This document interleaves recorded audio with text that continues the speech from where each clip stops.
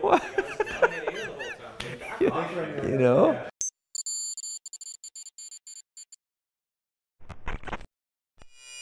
Hey, how are you? Chad McMillan here today talking to you about Bitcoin, Ethereum, blockchain, and this digital currency encryption revolution. It's a whole new framework for protected, encrypted, decentralized participation in the world. So how do we participate, you and I? How do we invest in it? And how do we profit from what's happening in this type of a sector? First off, we're talking about investing in the coin itself. This is like straight up vanilla. This isn't like groundbreaking. A lot of people are already doing this, but maybe you aren't.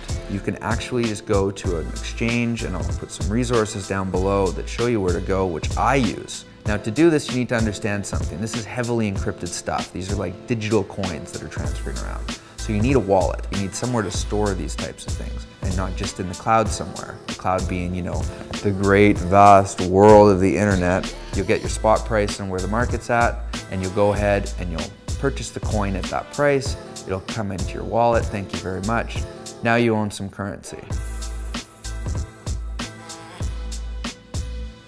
There's like this, this vault, right?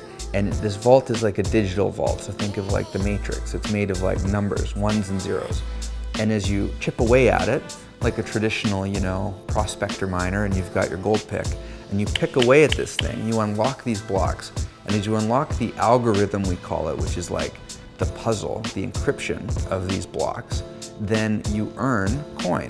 Another way to mine this, and when I first started doing this, truly I had like computers in my living room and they were open cased and like fans going and electricity bills and like things were breaking down. I hate that shit. You know what I mean? Cloud mining, which is purchasing the contract to mine coin from someone else who's really good at all that stuff. Third way, which is initial coin offerings.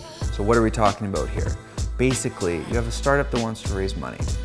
Many of us have heard of crowdfunding, right? But what they do is they attach a token to your participation. And that token can be either connected to an asset or it can be connected to a permission or some sort of value. And then these tokens are traded on exchanges, much like you would a stock. Away you go.